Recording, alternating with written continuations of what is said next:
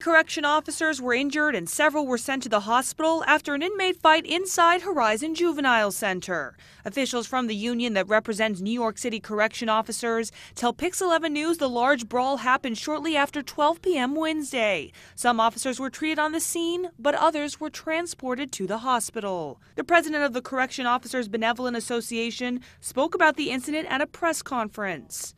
Today we're here and we're calling for the closing or the shutting down of this place until it can be made safe. On Monday, 93 teenagers were moved from Rikers Island to the Bronx Juvenile Center. That's when the first phase of the Raise the Age law went into effect. The new legislation mandates that minors will no longer be treated as adults when they are arrested. As of October 1st, 16 and 17 year olds cannot be detained at Rikers.